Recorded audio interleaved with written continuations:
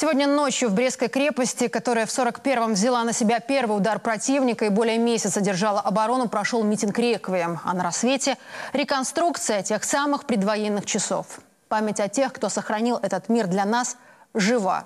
Знать об этом и передавать через поколение – наш долг. Дарья Рачко. Они ушли, не домечтав.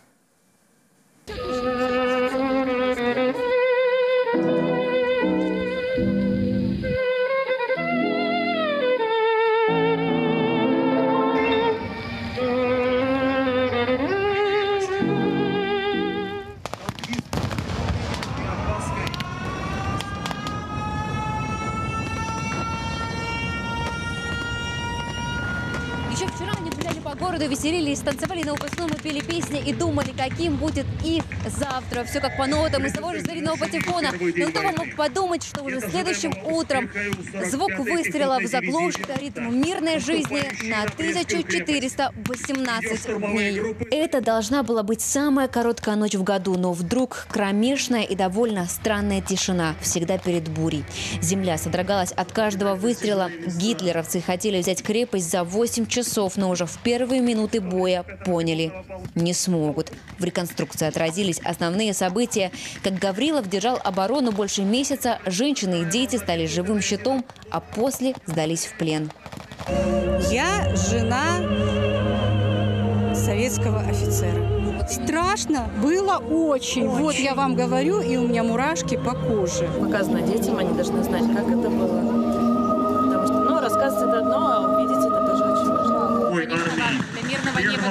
Головой, для того, чтобы росли наши дети, для нашего будущего. овладеют. Сценарий с каждым годом не меняется, и в этом нет никакого смысла. Это наша история и правда. Кровью защитники вписали свои имена в военную летопись в память на митинге «Реквием» знамя того 393-го отдельного зенитного артиллерийского дивизиона, которое спрятали в одном из казематов цитадели, пронесли вдоль могил героев обороны и зажгли свечи и пустили венки на воду Буга.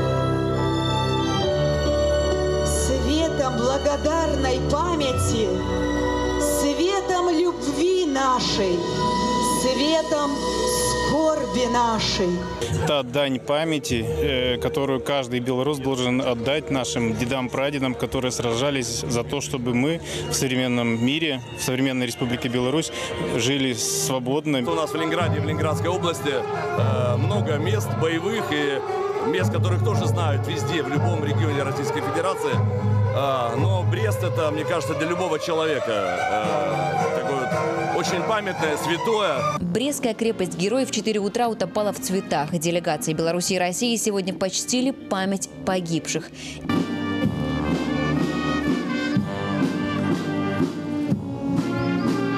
И ровно в 12.00 вся страна замолчала.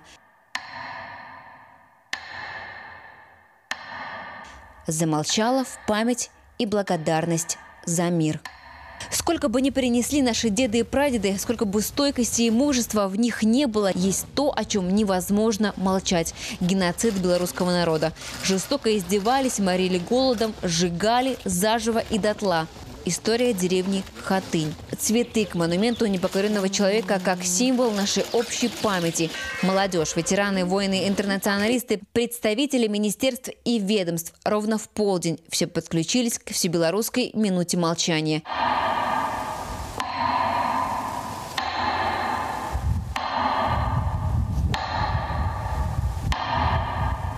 Первый раз в Беларуси.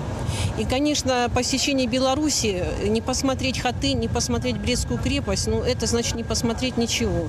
Хатынь – это вообще символ не только трагедии человеческой во все времена, но и символ мужества. Память погибших в годы Великой Отечественной войны сегодня почтили и игроки футбольного клуба «Батэ». Тренировка команды началась с минуты молчания. В современном мире, который полон информационного шума, мы иногда не находим вот этой минуты задуматься о произошедшем, э, вспомнить героический поступок наших прадедов, дедов.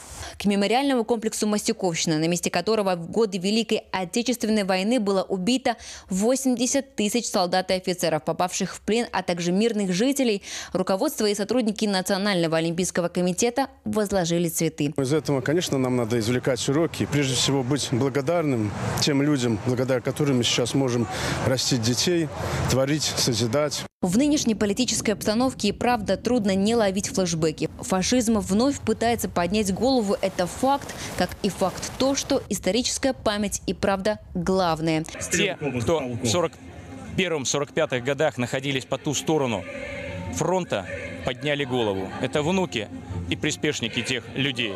Сегодня они развязали информационную войну. Так вот, находясь здесь, на таких местах, как Брестская крепость, Тростенец, Хатынь, важно говорить об исторической памяти. Тогда, в 41-м, все так или иначе, сражаясь с врагом, воевали прежде всего с фашизмом. Анатолий Феофанов, будучи 17-летним подростком, вел бой с немцами в Архангельске. Те дни ему вспоминать трудно, но слезы подступают о воспоминании, когда по радио сообщили о для каждого долгожданной победе. Спасибо. Не передать, не надо. Мы вспоминаем это, этот момент такой, если бы вы знали в то время, как нам было легко и тяжело. У, у меня отец погиб, у другого э, самый брат погиб или еще что-то. Не дожили до победы. И пусть эти искренние слезы будут еще одним напоминанием. Мы потомки героического народа. С трепетом и уважением относиться к истории – наш долг. А в эти минуты памятные мероприятия завершает хор турецкого с концертом «Песни Победы».